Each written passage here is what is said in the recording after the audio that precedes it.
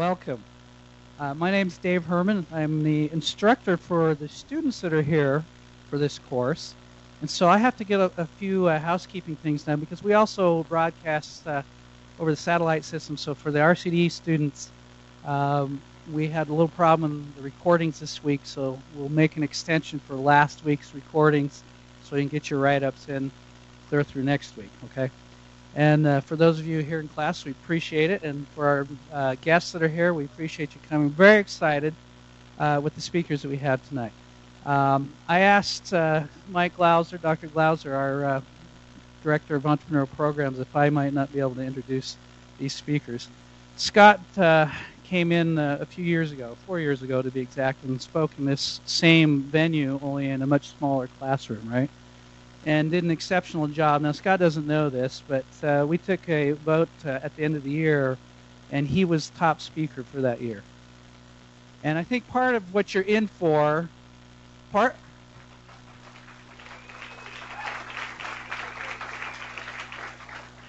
I reviewed that tape this morning as I was, as watching him, and he got up and he said, "You know, I'm not a public speaker." But he got in and he talked to the students, and it was a story that was very believable. It's something that everybody can relate to. You could see yourself doing it. In fact, as he was telling the story of his companies and his startup and whatnot, I was like, gee, I, I wish I'd have done that, you know? And so it's, it's just one of those things that I, I think it's, uh, it's going to be really good, uh, really fun for you to listen to, uh, and a really great uh, story. I don't know Clay as well, but uh, we're going to introduce both of them. The other reason I asked to introduce them is uh, I'm also director of the SEED program here at Utah State. And uh, we, uh, for the last four years, have raised uh, money uh, through classroom projects, and these uh, students go out and do fundraising events of different sorts. And Clay and Scott have supported that many times by donating products to some of these students groups who have then gone out and sold it and donated the money to our SEED program. this last summer alone, in Peru, we loaned out over $65,000. And so I'd like to thank these gentlemen for their help in, in uh, participating in that, even though they might not have known they were participating in that. Okay. I'm going to give Scott's bio first, and uh, I think Clay's going to speak first, so I'll do Scott first, and then uh, Clay uh, is next. Uh, Scott uh, Huskinson co-founded Reminder Band, iFrogz parent company, in November 2004. In 2005, he designed the uh, current three-part component system that makes up unique iFrogz cases. Uh, prior to founding Reminderband, he worked as a designer for uh, Swank Incorporated, New York-based uh, men's accessory company. I think he might have a story on that too. Maybe not. Uh, helping it brand and develop a line of retail products. He graduated from Utah State with a bachelor's degree in marketing.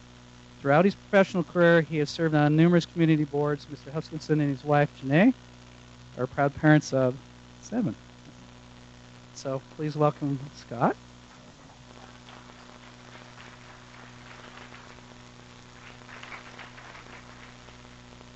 Clay also received a uh, Clay Broadbent also received a degree from Utah State in Communications.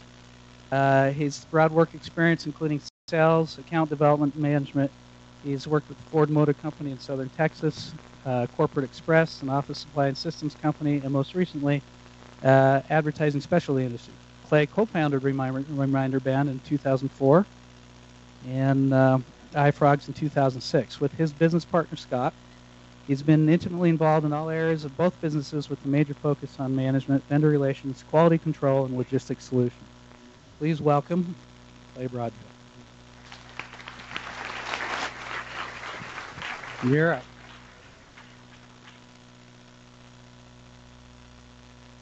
Was just getting comfortable. Well, we'd like to uh, start out by thanking you for having us and uh, hearing a little bit about our story. Um, if any of you are betting people, lay a bet right now which one of us will knock one of these down and how soon into the presentation. Because that probably will happen. Um, we wanted to uh, probably, I was, I was glad to hear Mike say at dinner that uh, he just wanted us to kind of reiterate the story. We don't have any presentation, how they put the slide uh, screen up, but it, it is kind of a fun story. And Scott and I have remarked to each other over the years that uh, it's kind of a forest for the trees. You've heard the comment. You, sometimes you don't hear the, you don't see the forest for the trees, and that's kind of how it's been for us over the years um, because it's been such a, a crazy, hectic experience, and uh, and sometimes it's fun to have events like this to kind of step back and reflect on it a little bit. Um, I'm going to start out uh, from the beginning and uh, tell you a little bit uh, about how everything started, and uh, I'll get a little bit into it, and, and, and that has some relevance to you as students uh, that are, are looking to, uh, you know, someday own your own business and, and, you know, go into that field. And then I'll turn the time over to Scott to, to kind of flesh out some of the, some of the information about iFrogz most of you are probably most familiar with iFrogz uh, because it, uh, of the of the two companies, uh, it was the it's the bigger of the two.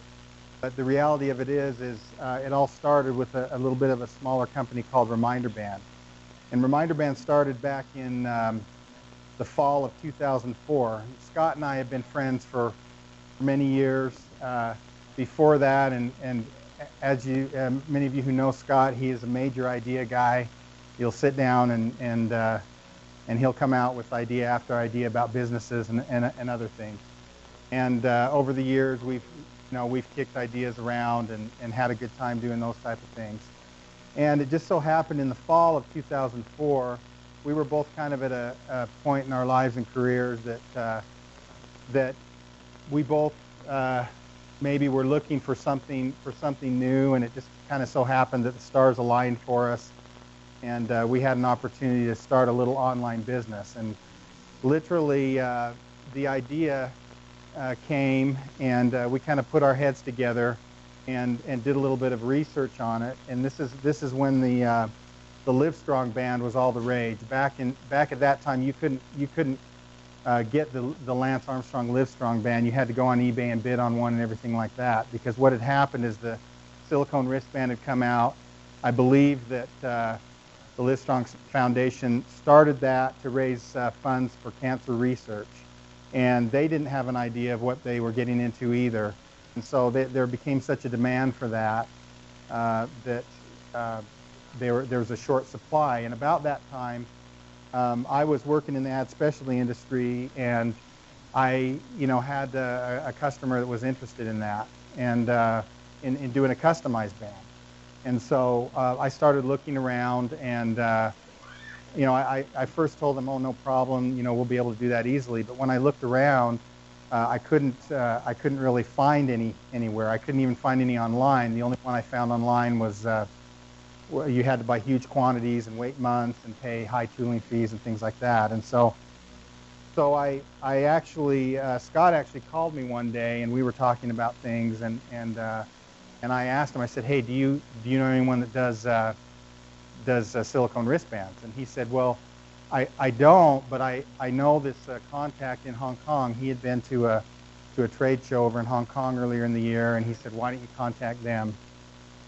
So to make a, a long story short there, uh, we kind of went back and forth, and I talked to Scott, and I, con- I contacted this contact, and, and it just, it kind of dragged on for a while. Uh, but finally, we were able to, to work on that and kind of develop that. And um, what we found is because of the fact that you couldn't get the product easily or quickly or in small quantities, Scott and I kind of brainstormed and said, hey, if we could, if we could uh, develop a way to get this product to just the end consumer quickly in a low quantity uh, with, with no upfront charges, would there be a demand? So we so, that, so there was the idea. And then uh, we, through the contact in Hong Kong, developed the product and then went out and did the research as far as we got online. We, we uh, looked around to see if there was any demand, and we found out there was some demand. There were people who wanted, you know, a couple hundred here or there, or even, you know, 10 or 20 uh, wristbands with their own uh, their own saying on it. So, so after we kind of worked hard on that and did some development on it, we um, we decided, wow, let's uh, let's put up a website. So we paid a whopping five hundred dollars, a whopping five hundred dollars for a website, and uh, it didn't have an ordering system. It didn't have anything. Basically, it was flash based, and I think it had our cell phone numbers on it, if I'm not mistaken.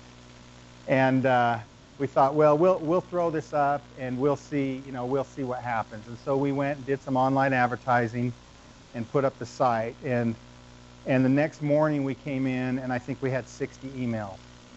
And uh, they they weren't all orders, but a lot of them were orders and a lot of people asking questions and that. And we said, wow, that's that's pretty crazy.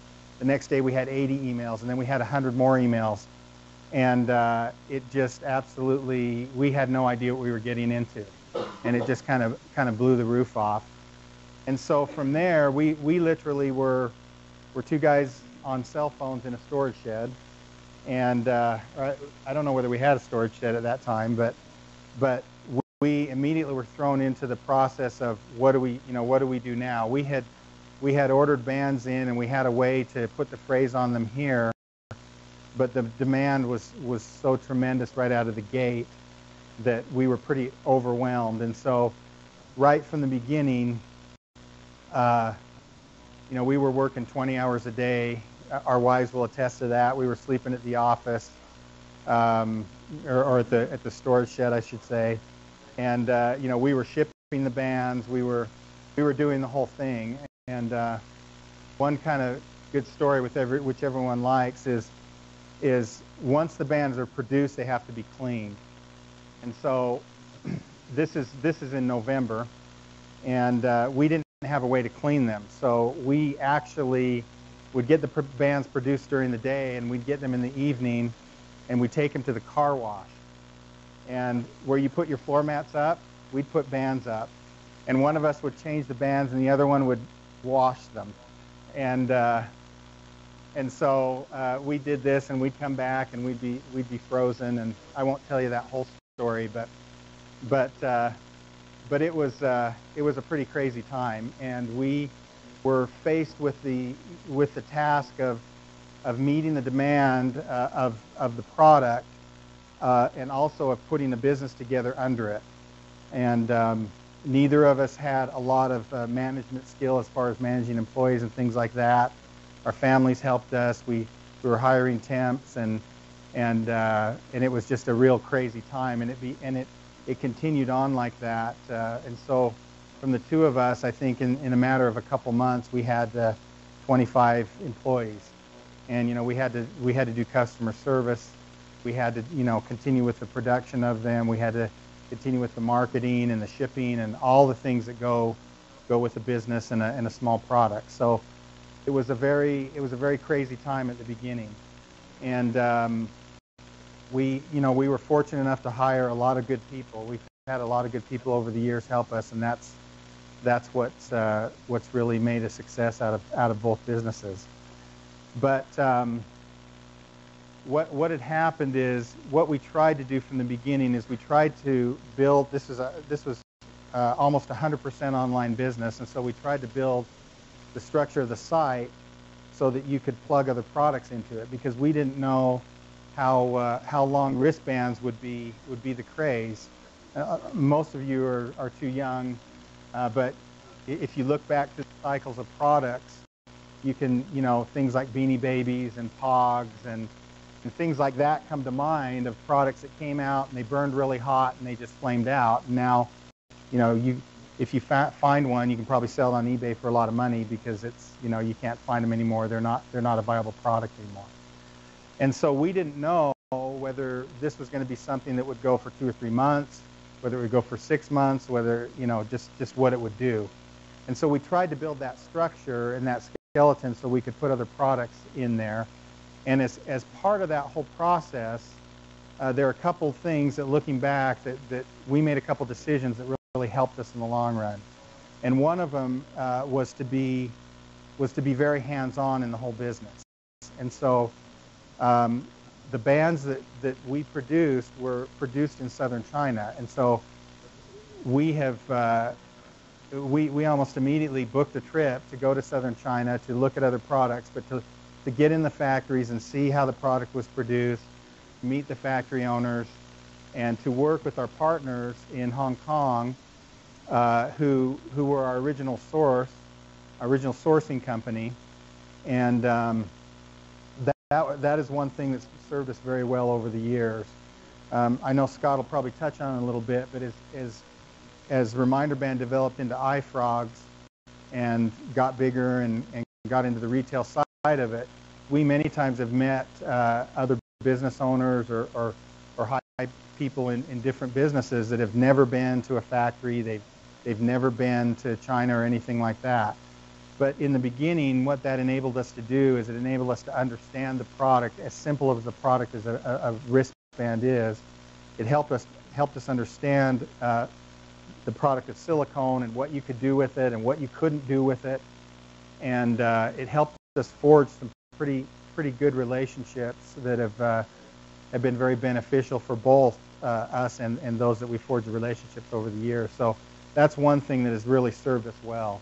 The other thing that I think is, has served us well is um, Scott and I, from the beginning, looked at this and said, "Wow, you know, it was just it was just such a uh, such a great thing for us, and we were just so, you know, thankful that we were so fortunate to kind of kind of put that together."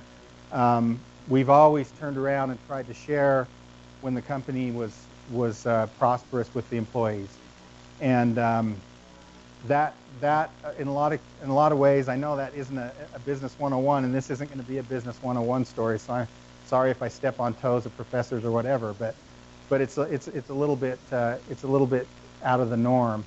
But over the years, we've you know we've continued to try to do that, uh, and it, it's not always possible because, as Scott will talk about a little bit, when a when a business uh, experiences explosive growth, a lot of those resources are, are, are sucked back into the business to, to build inventories and, and to build infrastructure and things like that. But when we've had the opportunity to do that, we've done that. And um, because we realized early on that that the whole the whole experience is is it's not just one or two guys. It's a it's a whole business. It's it's every single part of the business, whether it's the marketing department or sales or management or accounting or shipping all of those things have to happen and they have to happen right for a business to be successful. So kind of back to the Reminderband story. Reminderband, uh, I, I, I, talked to uh, Scott a little bit about this, and, and generally our philosophy over the years has been to kind of try to fly below the radar. Um, just because that's kind of our personalities, uh, and we generally don't share numbers or things like that, but I think this evening we're going to do a little bit of that just because that's kind of the purpose to, to, to let all you students know, hey, here are the, you know, here are the possibilities and here's some things that, that can happen uh, uh, for the positive if you, you know, if you look at it. So we'll do that where we're not always really comfortable with doing that. But to, to give you an idea, Reminderband uh, in the first year I should know this exact number, but we sold somewhere in the neighborhood of 8 to 9 million wristbands online and generated about $11 million in, uh, in sales. And um, it was a pretty amazing experience. And, and what, had, what had happened, though, in the Reminderband story is, is it enabled us, and this is, this is a little different than making a business plan, taking it to the bank, uh, looking looking for capital in, in places. But the reason that this model works great for us is because customers would get online, they'd order the bands, but we we would take the payment first. So we would we would take the credit card payment. Since it's a customized product, it's not you know you don't return it, and so um, we really as a business capitalized uh, immediately, and uh, we you know we never were in a line of, of, of credit uh, to, to any to any extent until we got into the kind of the, the, the heavy lifting days of iFrogz, and Scott will touch on that a little bit, I'm sure. But Reminderband uh, burned very hot for the first part of 2005 and continued to, to go well. In the fall of 2005, it started to decline somewhat. And so we didn't know, again, whether, well, this is the end of Reminderband or what. And so what we did is we started to, to look for other products. So we traveled to Asia, we traveled to China, we traveled to Thailand, looking for other uh, other products, even though Reminderband was still doing well.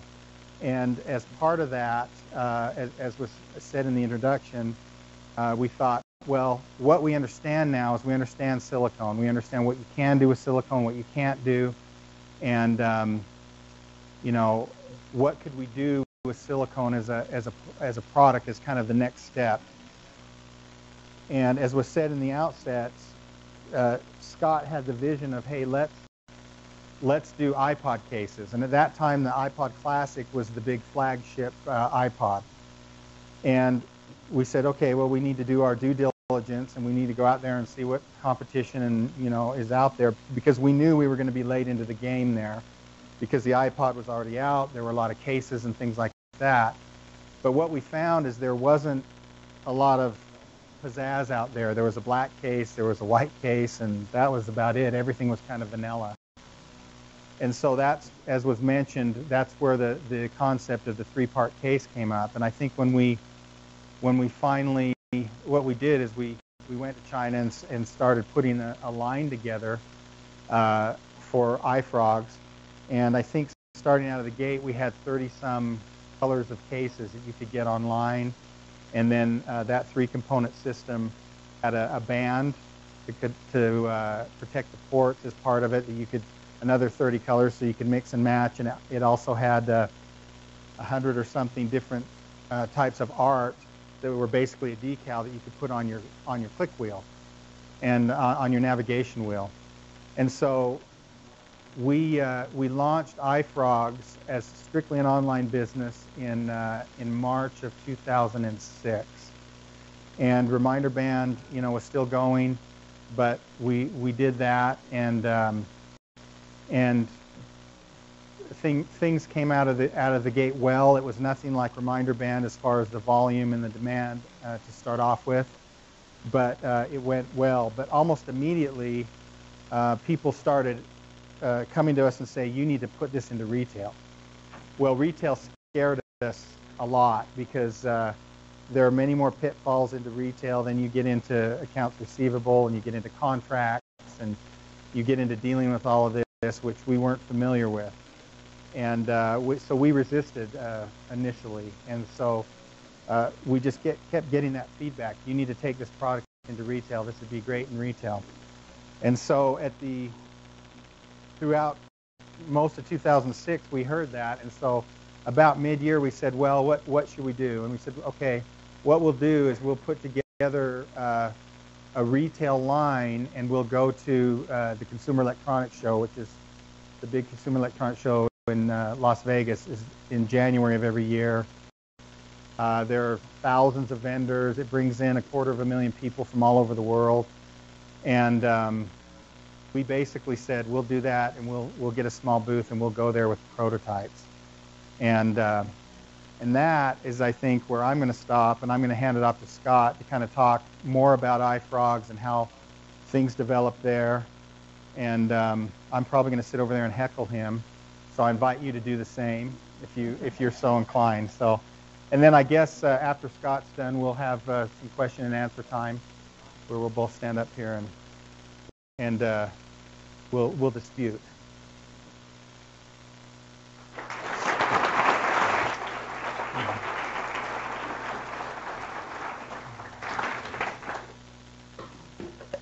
Good evening. Um, if you guys will just uh, play along with me for a second, I've, uh, you know, this will be the ultimate. Um,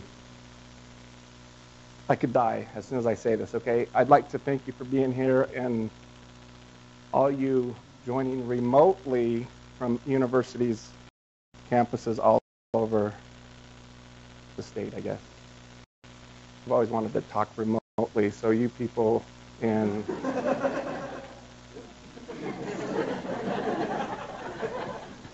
So when this gets replayed, which I guess it will, people think, wow, he's talking to a lot of people. There's two up there. Are you guys married or a couple? Yes? Thumbs up? Good. If not, I hope so, because it looks like the dating pool is kind of small. So, um, let me loosen things up just a little bit, like I haven't already, but and I'll explain why in a second. So,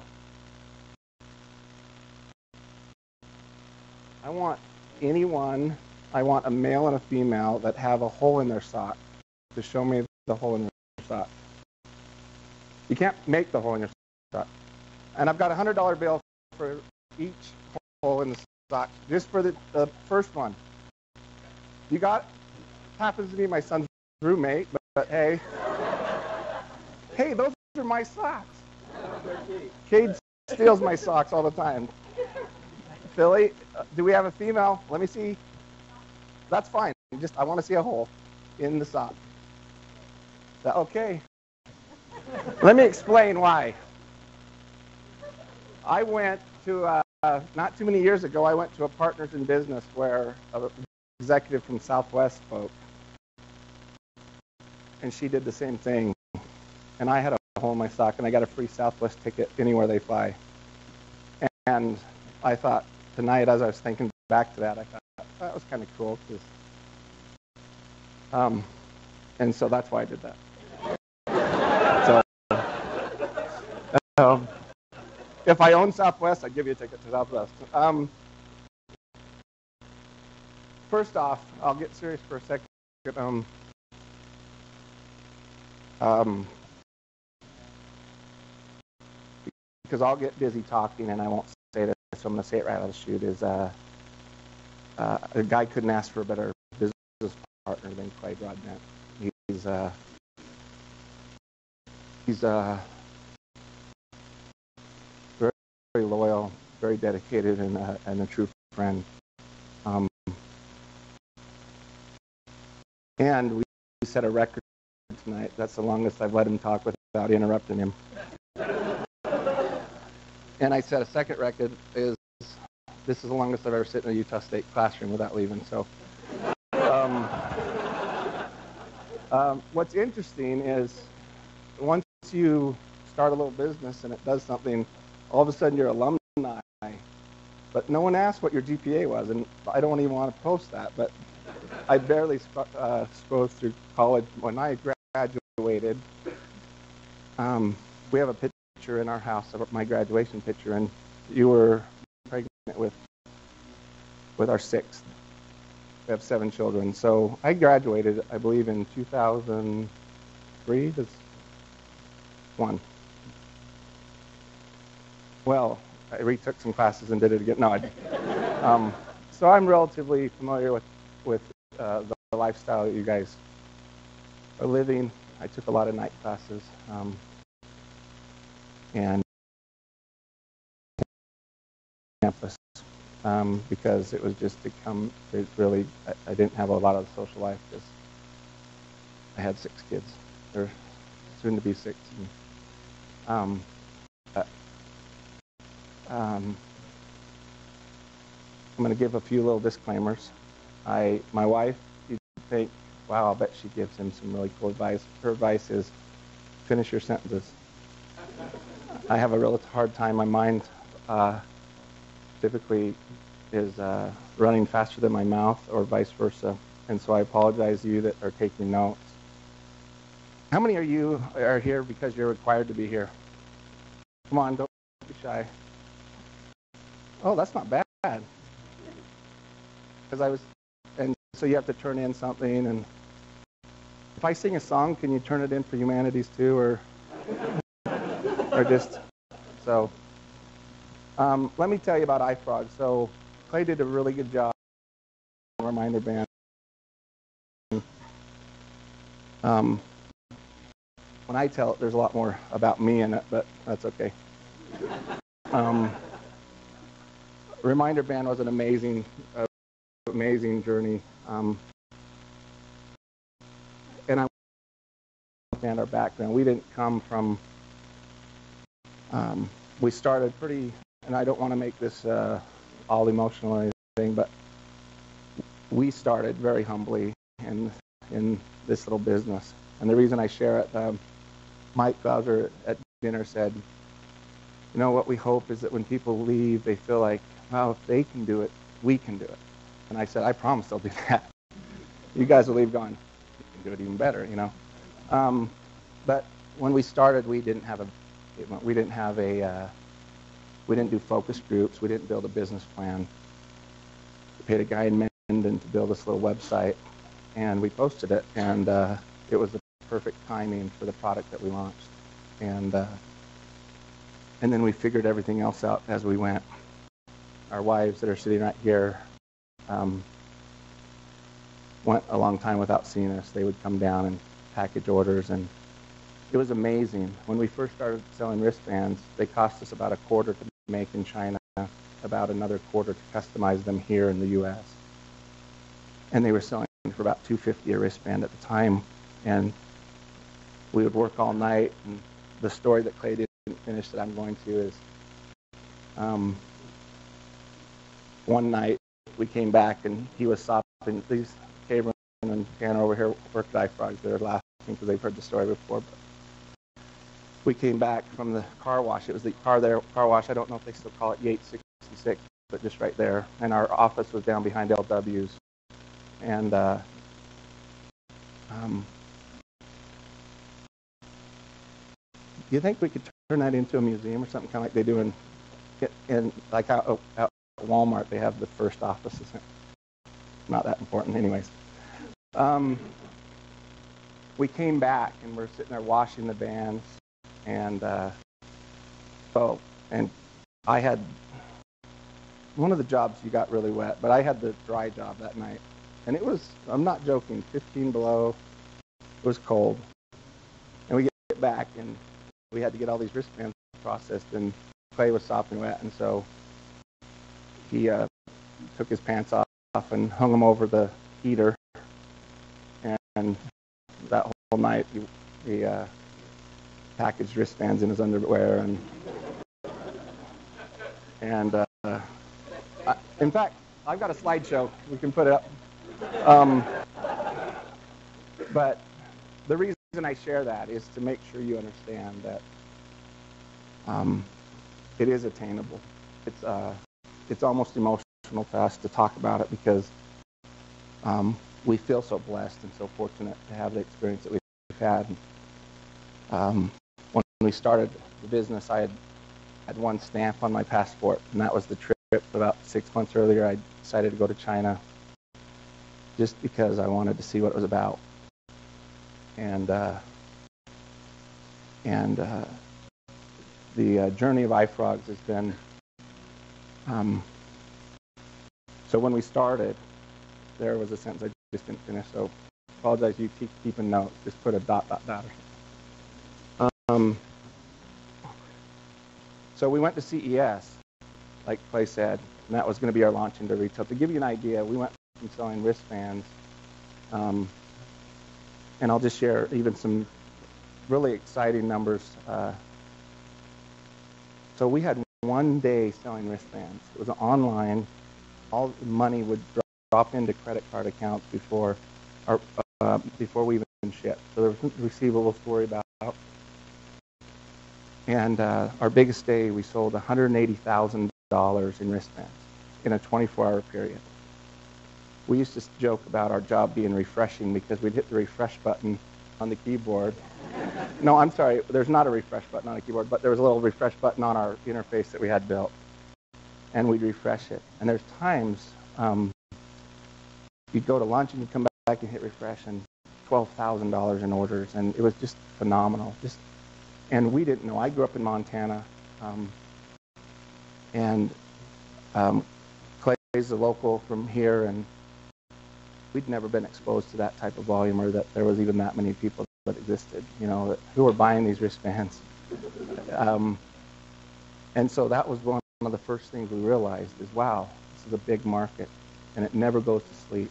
And there's people ordering wristbands at 2 in the morning that say, you know, um, I love Vernal or whatever. Who's from Vernal up there? Oh, they're asleep. Sorry. Um, but it was it was just amazing to to see that. And we went from not having a down, down. Um, we went from having no experience. We were using our cell phones. I remember being in San Diego on a uh, on another business idea because Reminderband was just starting, and myself we'd had to take our cell phone numbers off the website and just email only. And I'm getting on a airport shuttle that took you from the rental car agency back to the airport, and I get this call, and I'm like, "Who's this?" I answer it, and this lady said, "Oh, uh, I'm so glad I got through to you," and she started crying and um, saying, "This is meant to be," and all this. I'm like, "Wow, what is?" And it was a lady that was trying to contact us to order wristbands, and on the bottom of our website, there was a the name of our um, web developer, and she called him, and he gave us Scott Gutke, right? Um, he now teaches down at BYU web stuff, but um, gave gave her he gave her, my number, and she had to get these orders these these wristbands ordered for someone that was sick. Um, early on, we decided we will never do Livestrong bracelets. We would never produce a band that said Livestrong because we didn't want to cut into the Cancer Foundation. This was all about let's do wristbands for other uh, other um, uh, you know causes and other purposes. So I've got a timer set here, and I'm going to run out. Um, so the wristband business was just amazing, and here we got all these amazing employees. And as it started to die, or we knew it was a fad and it was going to taper off, and it went from doing fifty and sixty thousand dollars a day to twenty thousand dollars a day, and we thought, oh no, here it comes, and that's when we launched iFrogz. We thought, hey, our our factories can produce silicone, they can do small quantities, and we started. And so the first year online, we launched on March 6th of 06, we launched the website called iFrogz, and it was just get on, you could build a case. You had a little wristband that went around the edge of the case, and silicone body, and then what we called wheel art, like Clay said, and you could build your own case. And uh, that that launched. We had good search engine optimization team by that point, and, in the first year, from March till the end of the year, we did um, 54,000 orders, something like that, um, and about 1.6 million dollars in sales, and had some amazing breaks. The Today Show, we're in China, and all of a sudden the website numbers are going crazy, and found out the Today Show was featured as one of the best gifts for tweens on at Christmas, and um, so then we launched when we launched iFrogz.com for retail. We went to CES, um, and the first customer that we that expressed interest was Virgin Megastores in the Middle East. It was a company uh, called the Azadea Group. They own around nine Virgin Megastores. They're based out of Dubai, and they called me and said, "Hey, we want to place an order." And I said, "Well, I'm coming to Hong Kong next week. How about if I just come see you guys?" Not realizing that it's like 18 hours, I think, between Hong Kong. I'm thinking, "Hey, it's." Uh, and so I went and saw him, and uh, and uh, we met. They were guy. They were these uh, Lebanese guys. Um, they took me out to dinner and and gave me. Oh, that's it. So we'll finish the story later. No. Um, it was just an amazing experience. They wanted to place an order. The next morning, they they go to cut the POs and they say, uh, "Fill out your part numbers." And I'm like, I hadn't thought of that. so, because uh, we'd been an online business, we didn't have UPCs and all this, and so I sat there in their conference room on the phone with the office in Logan. And we got on a little UPC building tool online and assigned part numbers, and they placed a $65,000 order, and that was our first. And that was a key order because Virgin Mega Stores has a big name, and it really gave us credibility.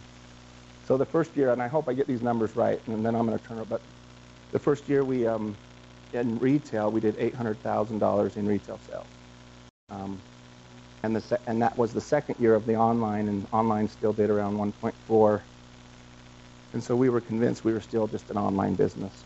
Um, the second year, we uh, we heard we uh, developed a product called the Audio Wraps. It was for the 3G Nano, and it was the ability to put speakers in a little case so that when you put your iPod in there, it would amplify it. I think Apple stole our idea because it's in all the devices now. But back then, you know, there wasn't. That was a joke. Please laugh. No. Um, Uh, and we're at CES, and I'm just touching on some of the cool little things that have. Uh, and we'd heard from our rep group that Walmart was interested, but they never came to our booth. And uh, I left because I'd been to China, I think, prior, and so I left the last day of the show early and got a ride to the airport. And on the way to the airport, I'm talking to Jeff and Kent and saying, "Hey, uh, if Walmart stops by by chance, we got to do this, this, and this." And I was explaining, this is just you don't make this stuff. Well, I might make it up, but this is real, I promise. And I'm explaining what Eric Bright looks like. Um, and I look up, and he's getting out of the taxi in front of us in the Las Vegas airport. I said, "That's him right there." He was the Walmart buyer. I'm sorry, I ought to throw that detail in. This is the head buyer at Walmart. And as he walks towards the curb, I said, "Hey, Eric." And now we talked, and we stood there, and we talked for over a half hour. And I actually said, and he goes, "Well, I don't think you have enough inventory, do you?" I said, "No, we we pre-built 50,000, and uh, I'll take them all." And I said, "Wow, this will make a cool book someday." I mean, here I'm meeting Walmart in the airport, and and uh, we got into Walmart, and they took them, and they bought 64, 70,000 and they were projecting they'd sell um, 9,000 a week. And the first week, we're excited to get the report, and I think they sold under 100, 92, something like that. And uh, and uh, and the next week, it didn't get better. And so then the call come to talk about you got to buy these with this back. And uh, because of good relationships that had been developed, we we said, well, what about audio? We'd never done. We'd done one pair of earbuds. To give you an idea, when we first launched our first pair of earbuds, it was called the D33s. They were named the D33s because Kent Withrich, who's our designer and has been done an incredible job for us, he actually teaches up here on. Uh, he liked Tony Dorsett, and Tony Dorsett's number was number 33. we called them D33s. Um, and uh, and uh, I won't tell you what the, why where the name BS 55. No, I'm joking. Um, but so we talked to him and said, can we can we um, somehow get into audio? And he said, well,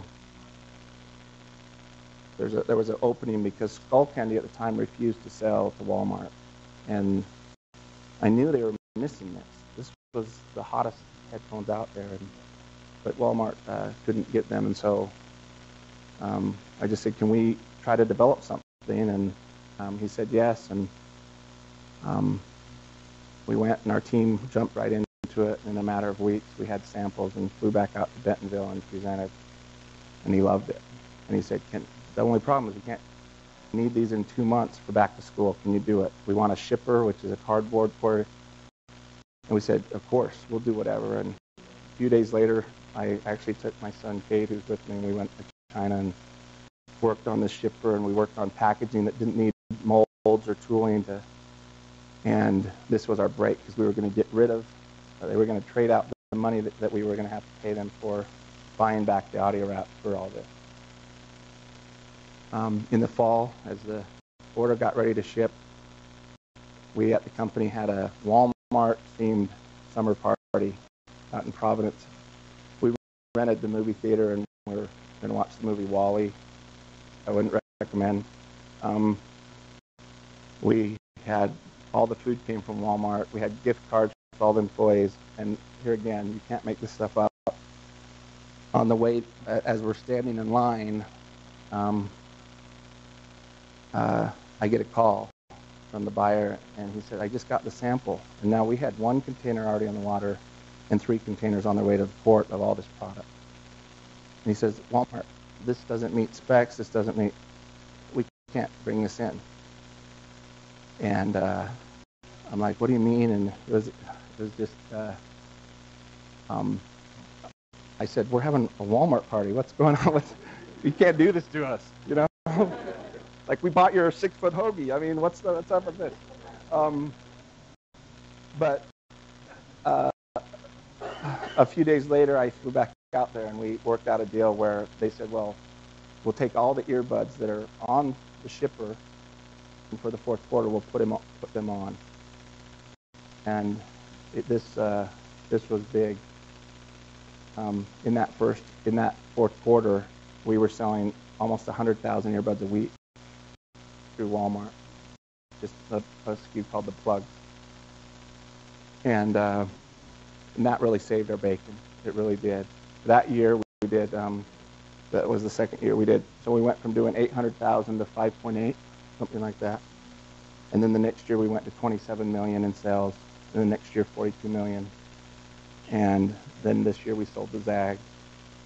Um, and we uh, are, we'll do north of 60 million in 2011.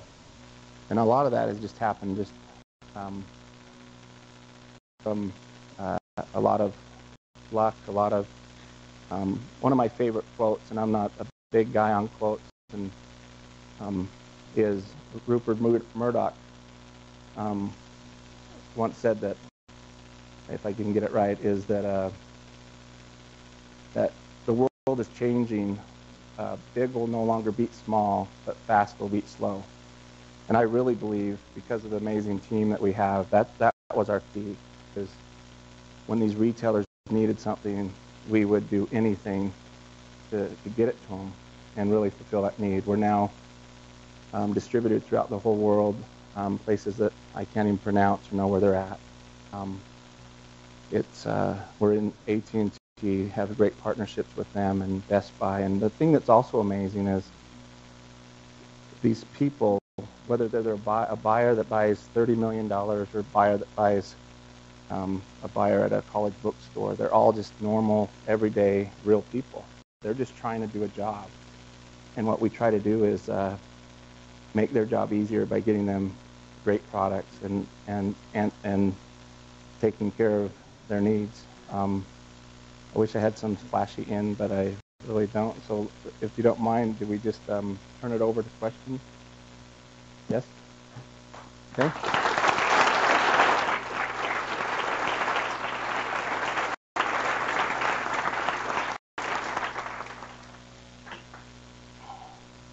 So I guess we're going to take some questions. And how long do we have to, for questions, Dave?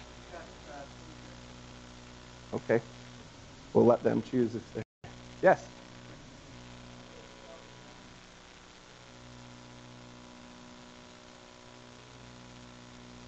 Stand that close together, I guess.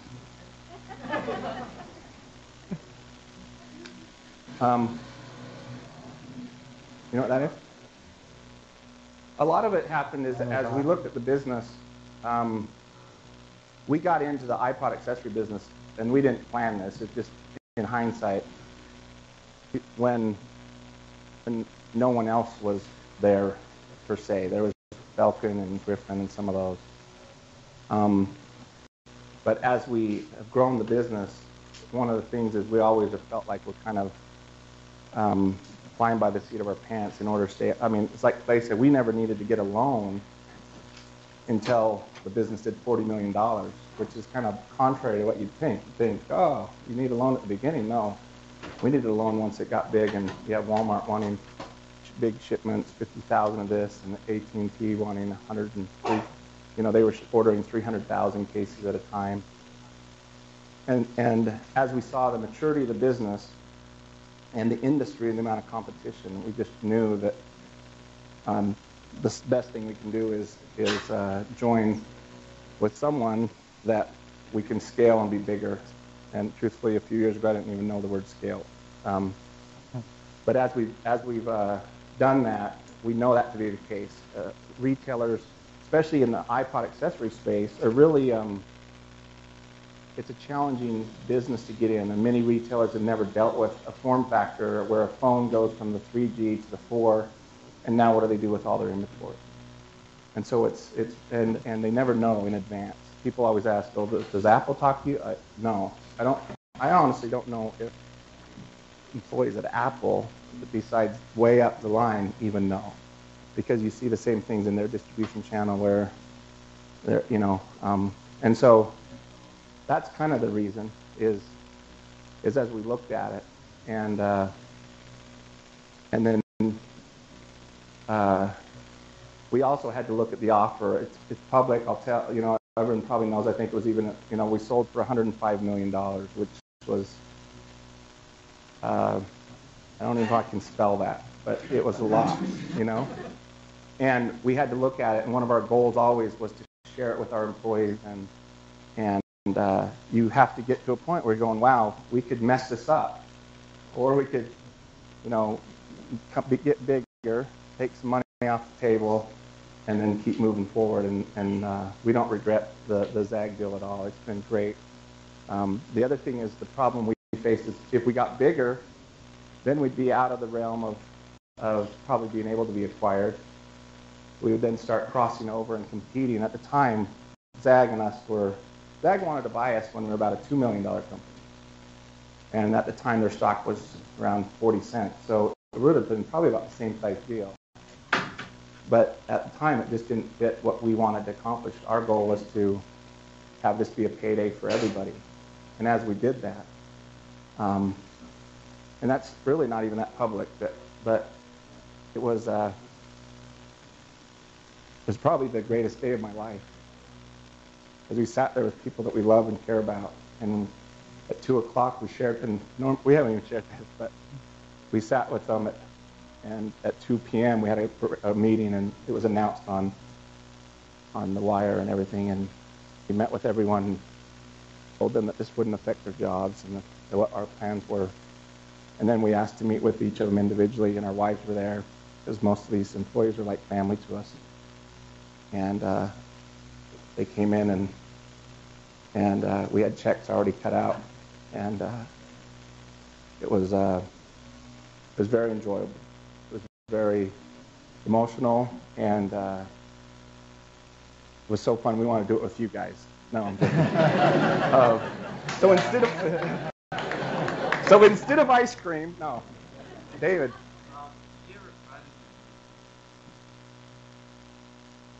Hey, why don't you answer?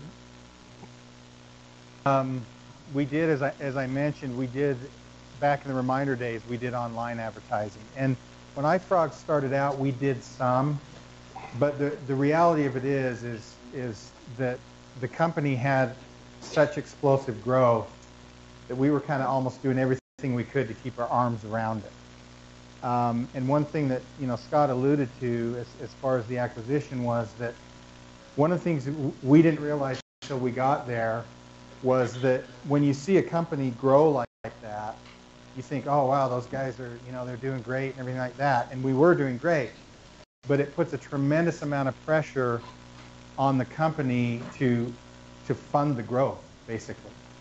So you you you know, everyone looks at it and oh, Scott and Clay are doing great. Well, the fact is, yeah, if you want to count millions and millions of dollars in inventory as great, that as, as was said, this is a the consumer electronics industry and specifically the case industry because Apple comes out with a new phone every year is a very volatile industry. And those of you who know anything about Apple, they don't release anything until the device actually comes out. So you're looking at things over the years that we've had to risk build. So we, you know, we make es- estimations at, at specs, and we might build tens of thousands of type of one type of case and tens of thousands of another type of case, knowing half of those are going to go in the landfill at no, you know, at no cost or no profit to us and all costs in that. So so we, over the years, we didn't do a tremendous amount of advertising, um, but uh, as Scott said, which I think was very accurate, we gained the reputation in the industry of being a very nimble company, able to react to what our customers wanted.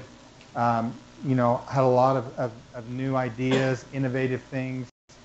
Um, you know, and, and, Scott is awesome at that, and that's, you know, that's really helped over the over the time. Yeah.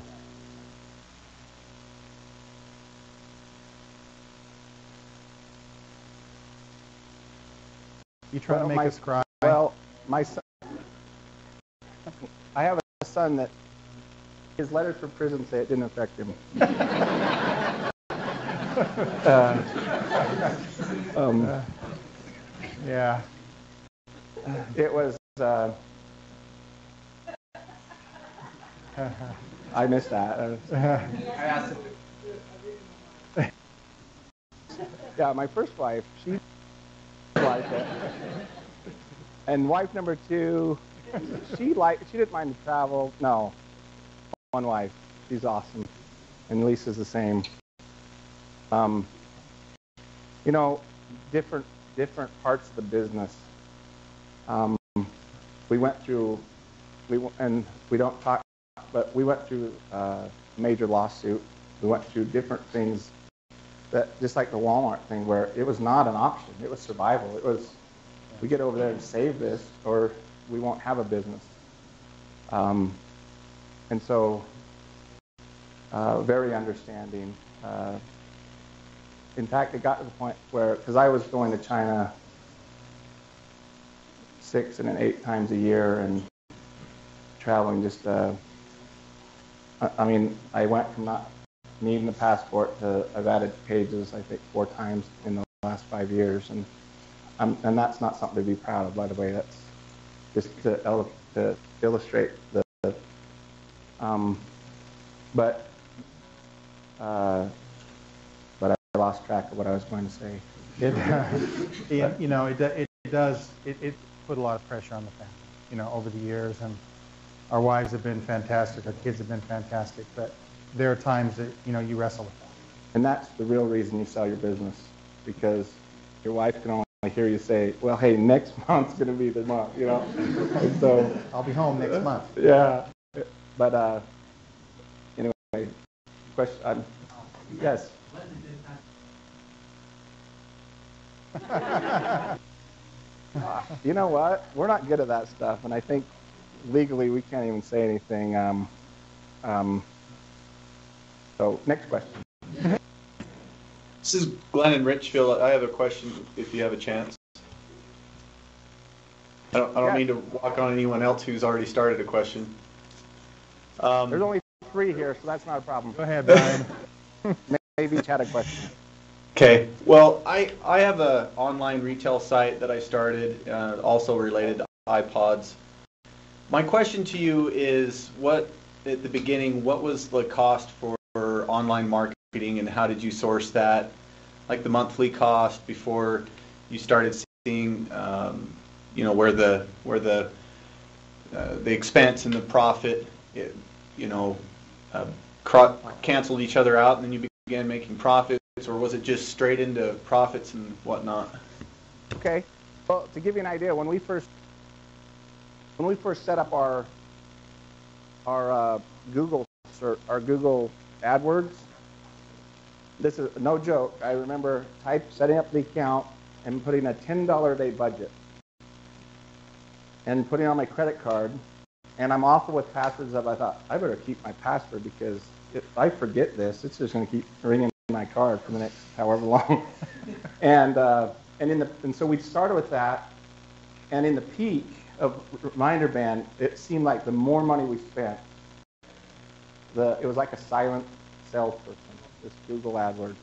Now a lot of that that does I can't speak to the relevance of that today, but at that time with that product, it just like the more you we had days where we were spending ten thousand dollars a day on Google AdWords. In fact, when we spent a million dollars, they sent us a little mini refrigerator. it's our who has that? Did you guys have that in IT still? It was our Google million dollar fridge. And uh, Well, one thing to mention there too is that we were paying how much per click? I can't even I can't even It was, it was like five cents, 25 cents, and some of those keywords now you pay eight dollars for per click. But one thing to answer your, you're in Richfield. One thing to answer your question is, we had such an incredible SEO team that when we launched iPods.com, within months, when you type in the word iPod cases, we came up organically before Apple. And that was our big claim to fame for a long time. Is is uh, um, was that is you know. Um, so, I hope that helps. Yeah, I think so. Thank you.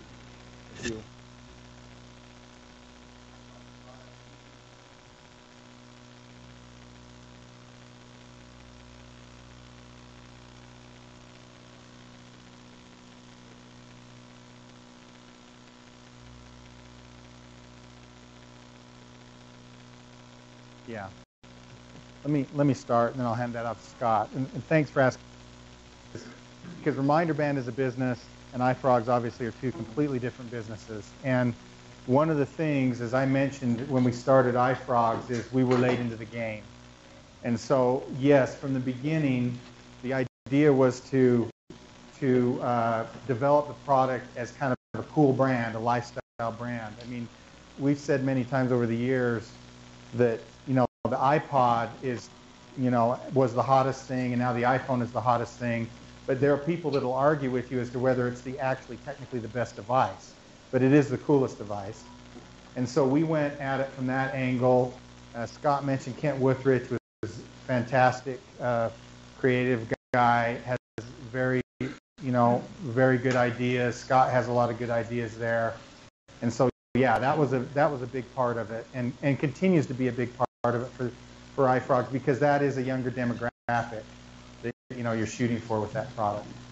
When we entered the market, we realized I don't think we we had all the different colors originally just because we wanted to be different and we wanted people to be able to customize. What we quickly realized is that exactly what Clay said. The iPod and most Mac products, they're all it's it's just they're the in, they're the cool thing. And the story I've, I've used before is like if we were at CES and just so happened to have our booth next to Bill Gates, Microsoft, and he goes, "Hey, you guys are good guys. Here's a couple of Zunes."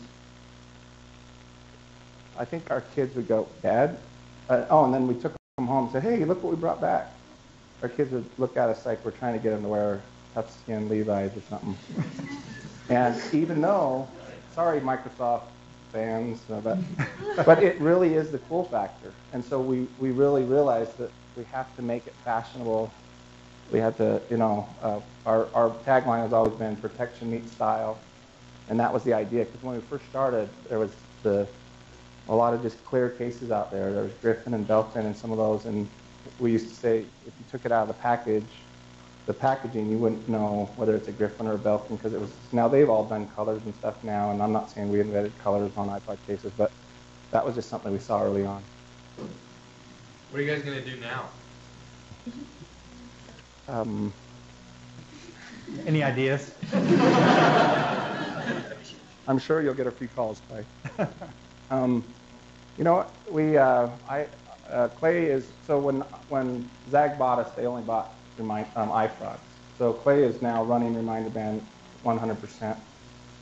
And I'm under contract with ZAGG for the next uh, couple of years because um, iFrogz is still being run as a uh, subsidiary of ZAGG and uh, just continue to grow the business. And you know, one other thing to that point is that what, what we found is when we went to China, it, it kind of expands your horizons as far as the, the way that that culture produces product and the possibilities. And so we, we have many uh, brainstorming sessions still, uh, and, and uh, you know Scott could probably rip off 10 ideas for you here in just a second. But rip off does that imply I would steal them? can this be edited? So can someone share some ideas? I'll go come on. Yeah. yeah uh, but but anyway, you know that, that that's the that's the beauty of going through an experience like this, is that you you know you can look at it and say, hey, you know, you look and you see where there's a, de- a demand for for something, because the reality of it is there are a lot of good ideas, but if in the end, if the consumer, it doesn't matter. Uh, you know, it's just like the audio rap story. I mean, that you're right. You couldn't make that story up. That that, that product won awards at Macworld and yes, and it hit the shelf, and it was a total dog because the consumer didn't get it. It was a cool product, but the consumer didn't get it. It didn't sell, so it didn't work. It is what we call the word we use is it wasn't understandable. So there's a lot of cool ideas that that you know I think business is a lot like American Idol, where there's a lot of great voices out there, but they just they can't get heard until they get on American Idol. And then there's a lot of lousy voices that are on the radio, and you're like, what's up with this? You know, it, it's it's the it's it's true, and there's it's the same way in business. You walk into into a retailer and you're like, someone bought this? Are you kidding me? You know, and um, and and through those type of experience, the whole dollar store industry was was was built. You know, stuff that. It, um, I guess I guess I'm not going to be selling to the dollar store industry, basically. Um, so um, it's, it, it is uh, it is enlightening, and I hope if anything, that's what you guys take out of it is. And we're not just saying this. I mean, it, uh,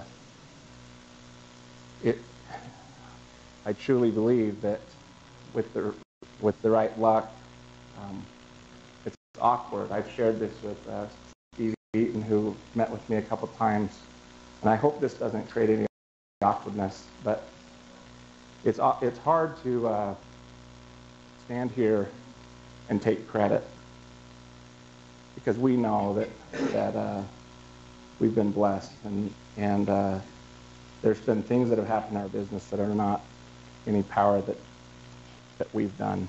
That may not be politically correct on a campus, but I guess it will be my last speaking engagement. But um, but truly, um, we we would be amiss if we didn't uh, um, put some credit there because there's just things that there's no way that we were that smart. Truthfully, yes.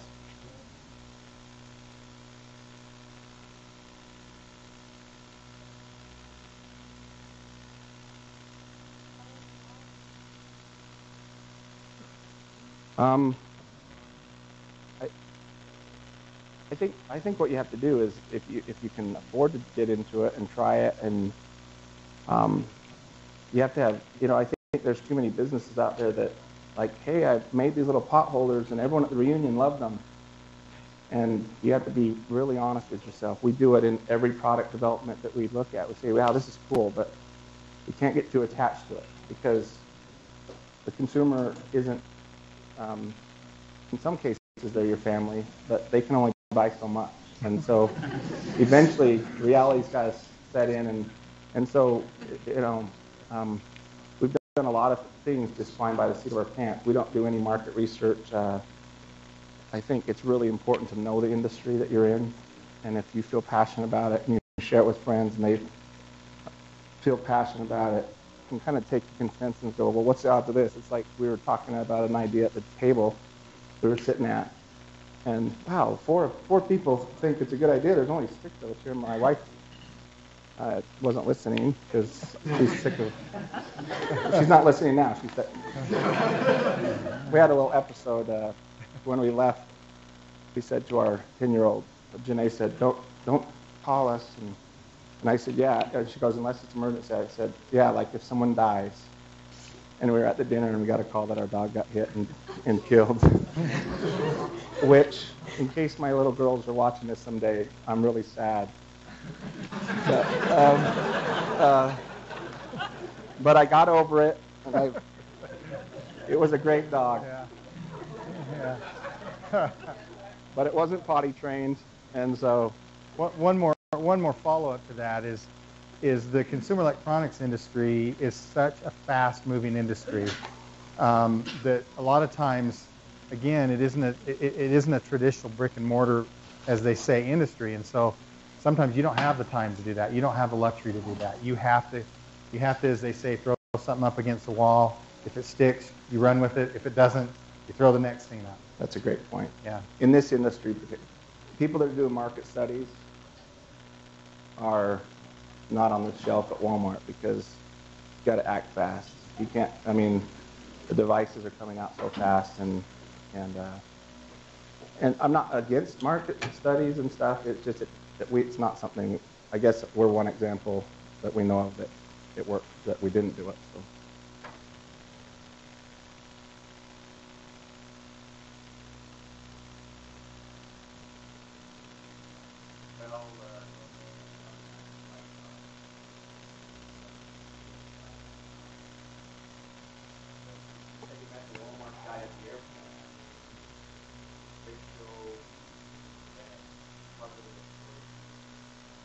That's a good question. Yeah.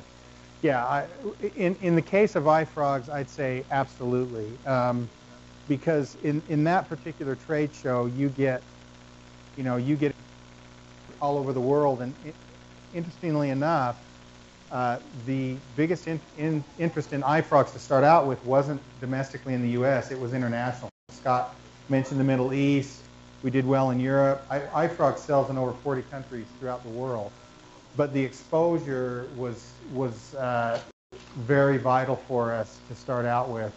And then as we kind of you know gained a little bit more more, more momentum, uh, you know it just it just picked up and, and got going and, and became a spot where our existing customers would also come and see us there too. So it's very you know it's very important for that. When when I was going to Utah State, I had a craft business.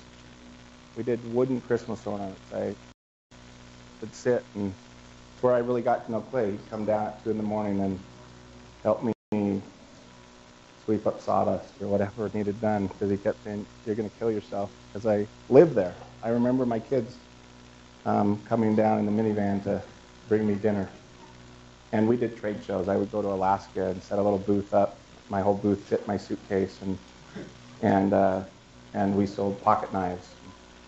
Then when we sold the Christmas ornaments, Jenae and I loaded up our minivan and drove to L.A. and uh, and set up a, a booth. And, and it does expose you to a lot of customers. But the other thing it also does is, I forget. I feel like Rick Perry. Um, um, uh, the the other thing it does is I believe that buyers are like hunters. Okay, this is important. Make a note of this. this is the most profound thing I'll say. So buyers are like hunters. They really are. No one wants to be solicited to, especially if you're a buyer, because it's not very glamorous to go into your boss. Oh yeah, these guys sent me a catalog, and look, I'm to order it. And so it's different. It's amazing how you'll send stuff and you'll give you'll you'll send emails and you'll send product and then they show up at your booth and they're like they've never seen it before. And they're like wow look what i just found. You know i'm going to take this back to headquarters and show what what all this money of them flying me out here did. And i really believe that. It's the same way with with uh, with lots of sales. When someone's being sold to versus when they're in the buying mode of hey i'm going like a hunter to bring back a carcass of something. Sorry for all you people that don't like carcasses. And uh, I'm not very politically correct. Have you sensed that? Um, but I really believe there's a different psychology. So being at the trade shows, they're really there knowing that, wow, my company sent me out here, paying all this money. I've got to find something. And so it really is. Now, that's changed now because we've been there long enough. And it's interesting to give you guys an idea. When we first started, our booth cost maybe 12000 yeah, maybe. This last year, our booth was feet by 20 feet, and just the floor space, no fixtures, no electricity, was 65,000 mm-hmm. for four days. That's some pretty expensive rent. That's just. We slept there and everything. We just stayed right now. Um, but it, it's amazing. And now we're in the mode where we have to be there just to be a part of the game. We have to be there because you don't want people to go, hey, where'd iFrogz go? They were, you know, but you're not there on pins and needles waiting for the Walmart buyer because you already have relationships with them. In fact, most of them, they'll say, well, we might swing by the booth and say hi, but they're out still looking for other new stuff because they'll call you and say, hey, come see us tomorrow and bring new stuff. And so it's different. We're probably way over, right? That, thank you.